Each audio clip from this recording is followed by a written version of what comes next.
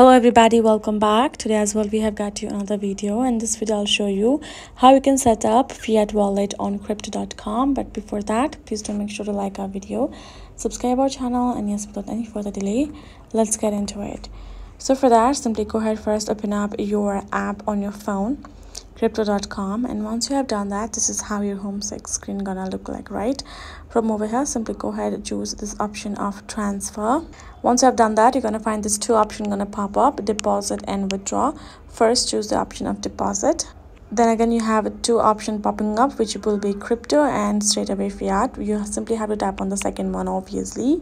Then right afterwards simply go ahead. Again you're going to find this uh, notification popping up. Simply tap on this plus aka the setup new currency then you will be asked to choose from two currencies which will be united states dollar or euro. You can choose whichever one you want.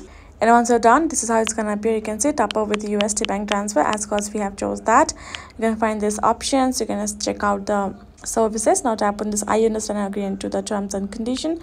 Check that box and tap on next in the bottom.